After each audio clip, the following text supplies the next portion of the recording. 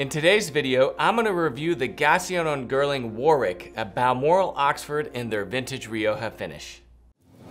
I'm Kirby Allison, and I love helping the well-dressed acquire and care for their wardrobes. Join me as we explore the world of quality, craftsmanship, and tradition. The Balmoral design originated as a walking boot designed for Prince Albert in the 19th century. Certainly commonly seen as the boot, they also make a beautiful lace-up Oxford dress shoe.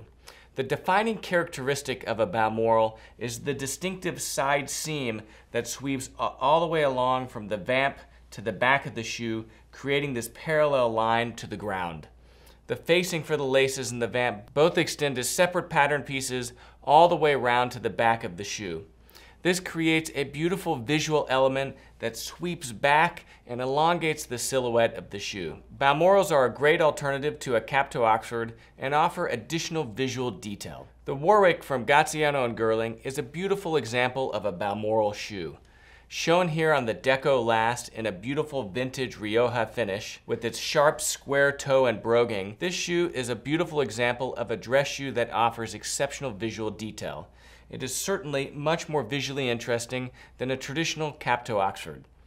As with all of Gaziano and Girling shoes, the quality of materials and make are both exceptional and done at the highest levels. The Warwick used to be a part of Gaziano and Girling's collection as their only ready-to-wear Balmoral. However, it is now only available made to order. This is a beautiful shoe and a model that I hope to soon add to my own collection. But first, let's talk about Gaziano and Girling. For those who don't know who the shoemaking firm is, they have risen as one of the wonder boys of the English shoemaking industry. When Tony Gaziano and Dean Girling founded the company in 2006, they were the first new shoemaking factory to be opened in Northampton in over 100 years. Everybody thought they were crazy, and they probably were, but that's what allowed them to innovate and become so successful. Tony and Dean worked for a variety of bespoke shoemakers, designers, and Northampton manufacturers before joining together to launch their own line. Their aim was to update the otherwise classic English aesthetic and to bring an unprecedented level of handwork to their Goodyear welted factory-made shoes. The whole key was to elevate the level of finishing of a factory-made pair of shoes thereby narrowing the gap between bespoke and ready to wear. Tony, with his experience in last making, brought design brilliance to the firm that you can see in every single one of their shoes. And Dean, as a bespoke shoemaker, brought the technical knowledge on how to elevate the craftsmanship and finish to bespoke standards. Few other shoemakers on the market try to incorporate so many elements of bespoke finishing into their ready-to-wear factory-made offering.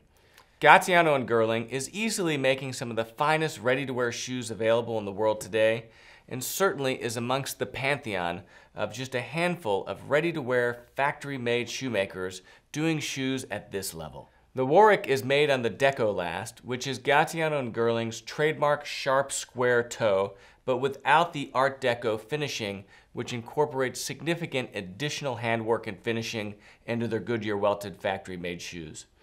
This last is a great example of how Gaziano and Girling offers a classic English-made shoe, but with an updated, more modern aesthetic. This shoe is somehow very fashion-forward, while at the same time somehow remaining quite English and conservative. I really enjoy the Balmoral design with its vamp sweeping all the way back to the heel of the shoe. This parallel line and the separation between the bottom and the top pattern elements offer an interesting visual departure from your classic cap-toe Oxford. Immediately, Tony Gaziano's shoe design brilliance is instantly recognizable in this shoe. Even though there is a lot going on with this particular model, it is still exceptionally elegant and put together. Every aspect of design, from the proportion to the lines to the shape to even the balance of the broguing has been perfectly balanced. Combined with the construction and quality of materials, which we'll talk about later in greater detail, you can't help but desire this pair of shoes. Now that the Warwick is no longer a part of Gaziano and Girling's ready-to-wear collection, it has to be commissioned through their extensive made-to-order program. So a lot of the elements that you see on this shoe right here are just an example of the type of manifestation one could have with this particular uh, Balmoral design. This particular example, which was a part of their ready-to-wear collection, was made on the Deco Last, which features this very sharp square toe for which Gaziano and Girling is quite well known. Whenever you think of Gaziano and Girling, you never think of a soft, round toe like something you would think of from John Lobb or even Edward Green. The shoe is finished in the vintage Rioja patina, which is Gaziano's mahogany. It features a nice deep red patina that's quite dark, almost black, but still offers the versatility of a beautiful mahogany. What I love about mahogany finishes, or in this case, the vintage Rioja, is the fact that it's a very versatile finish, especially for someone looking to add a little bit of color when they would otherwise wear a black shoe. This vintage Rioja color could be worn with a black suit, a gray suit, even navy or lighter colored suits. So it is a very versatile finish that certainly has its place in even the most conservative of wardrobes. And to commemorate the visit by the Prince of Wales to their factory, Gaziano and Girling actually made the Prince of Wales a shoe very similar in color to this one right here. So for gentlemen who traditionally wear black shoes, this vintage Rioja is a beautiful alternative. And with the proper mirror shine like what we have here with this model, the shoe actually looks quite black from the front, thereby further elevating the formality of this model. As with all Gaziano and Girling shoes, no effort is spared in the construction and finishing. Now, whenever we look at a pair of shoes from Gaziano and Girling, particularly this Warwick, what are the elements of quality that really stick out? First and foremost, let's start with the quality of the uppers. Gaziano and Girling uses the same quality of leather for all their factory-made shoes that they use in their bespoke program. Not only is this leather of the highest quality, a beautiful full grain, open pore leather that's gonna age beautifully and take polish and produce a beautiful shine, but it's clicked by hand. And what this means is that each of the individual pattern pieces are placed by hand on the actual leather before it is cut out. What this allows the clicker to do is to ensure that each pattern piece is being cut from only the best area of the skin that is unblemished. At factories that produce a higher output of shoes, oftentimes those pattern pieces are stamped out by hand without much attention being paid to the particular area of the leather being used. And next, the individual pattern pieces are skillfully and precisely sewn together and what I love about Gaziano and Girling's upper is the high density single needle stitching that they use. Whenever you look closely, you can see that it's almost 16 stitches per inch that's being used whenever these pattern pieces are sewn together. Now the result of that is just a beautiful, tight, and sleek aesthetic that just has a sharper look than patterns that are sewn together with a lower stitch density.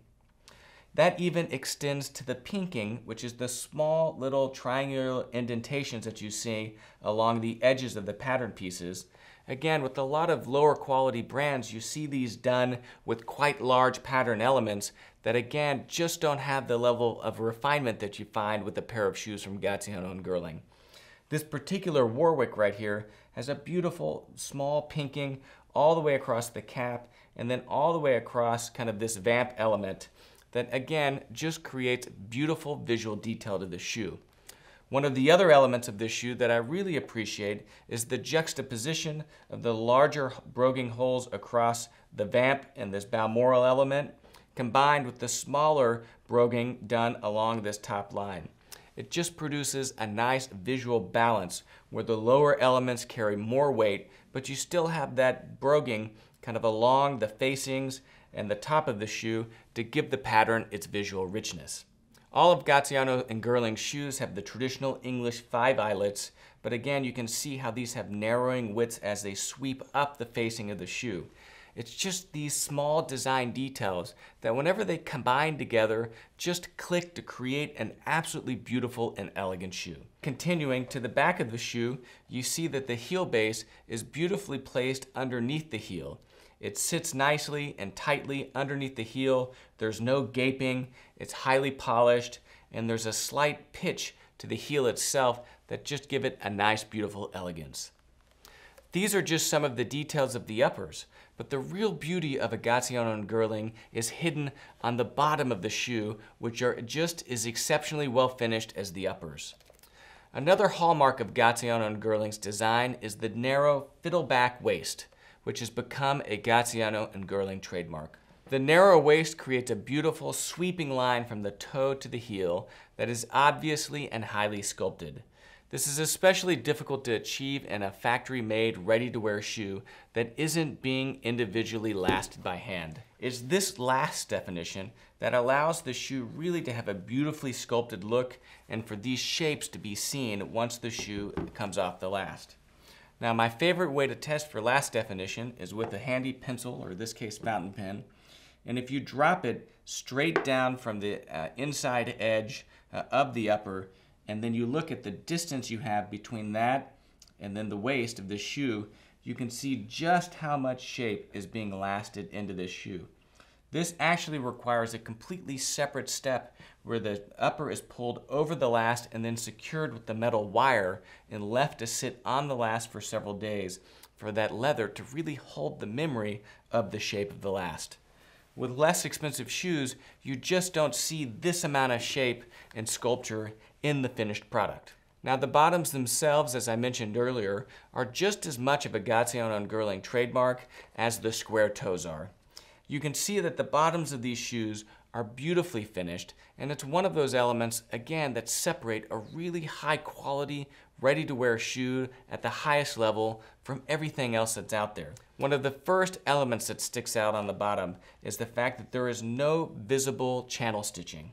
Now what this means is that you don't see any of the stitches that's used to sew the outsole to the welt itself. And the reason for that is because Gaziano uses a technique called invisible channel stitching, where the leather here is peeled back and then the outsole is sewn to the welt and then that is glued back flush with the, with the outsole. The result is a beautifully finished bottom that doesn't have any visible stitching and just creates a really heightened aesthetic that I absolutely love. Now the next element that is very unique to Gaziano is this tight fiddle-backed waist right? So not only is it a narrow waist giving additional definition to the last itself, but it is also fiddle-backed, and that is this bump that you see going down the middle of the waist. It's just a small additional element that really creates beauty into these shoes and to the bottom themselves. Now in addition to those elements, uh, the entire bottoms are finished, uh, so it is inked in black right here and then in brown on the bottom. And you can see that a beautiful high quality heel base is being used with brass tacking that is primarily decorative and then a nice small uh, rubber top lift. Now the outsole and the heels are both oak bark tanned leather, which is a naturally tanned leather that takes up to nine months. This actually comes from a tannery uh, in England called Baker's. So it is an English oak bark tanned leather outsole. And that's important because it's that oak bark tanning process that really gives longevity and durability to the outsoles and water resistance. So an oak bark tanned leather outsole is going to last three to four times longer on an ordinarily tanned leather outsole that you might find on lower quality shoes. As with all of Gaziano and Girling shoes, they can be completely customized through their made-to-order program, where you can choose from any of their seven last shapes, 100 different leather choices, any custom patina, and even add custom medallions on the toe and your initials and uh, brass nails at the waist of the shoe. MTO shoes can be commissioned for an extra 250 pounds or about $300 and take around 12 weeks to make. Gaziano and Girling's website has an exceptional made-to-order interface that's fun to play with, so if you haven't seen their website, I suggest checking it out. The Gaziano and Girling Warwick is priced at 1,200 pounds made to order without VAT or about $1,500. There is no question that this shoe is an investment, but at this quality level, it's a shoe that you could easily expect to be wearing for decades. I just find that there's something intrinsically satisfied about wearing a beautiful shoe like this. Not only is it more comfortable, but I just love the beauty and the sculpture that you find in a really high quality shoe like this Warwick. This Warwick Balmoral in the vintage Rioja offers an interesting departure from your traditional black cap-toe Oxford and could be worn in any of the same circumstances. This shoe is without question one that I can highly recommend. Everyone knows that I don't think that there's any limit to the number of black cap-toe Oxfords a gentleman can have in his closet, but this Balmoral design is a beautiful shoe and I would really seriously consider adding it to my collection in both black and this vintage Rioja. If I was having this made, made to order myself, I would certainly probably first start with the Vintage Rioja because I love the versatility of this redder finish. The only thing I might change is having it made on a different last than the Deco last with a slightly softer, more round toe, which fits with my more conservative classic aesthetic. But I could certainly wear this and get away with it anywhere that I would otherwise wear a round-toed shoe. So for anyone looking to add a very traditional and conservative shoe to their wardrobe, but wants an alternative to the traditional cap-toe Oxford, this Balmoral Warwick is an exceptional shoe and one that I can highly recommend. If you like this shoe, make sure you check out our other shoe reviews that we have on Gaziano and Girling, and especially the video where we visited with Tony Gaziano at their Savile Row store, where he showed us the shoe that they made for the Prince of Wales in a very similar finish. I'm Kirby Allison, and I love to help the well-dressed acquire and care for their wardrobes while exploring the world of quality craftsmanship and tradition. If you haven't visited hangerproject.com yet, please do. We have the largest collection of luxury garment care and luxury shoe care products in the world, as well as other great clothing accessories like this basket weave sovereign grade dress tie. In today's video, I'm wearing my stroller, but without the vest. This jacket was made by Ravi Taylor uh, in London. He has a bespoke workshop off of Savile Row. I'm wearing it with our beautiful Kirby Allison sovereign grade basket weave tie. This tie is probably one of my favorite ties uh, of all time and one that I find myself wearing all the time. It works perfectly with the black jacket of my stroller and my white bespoke Charvet shirt. I'm pairing it with a white Simonnot Godard pocket square, light gray trousers from Chris Despos, made bespoke for me with single reverse pleats and tab trousers.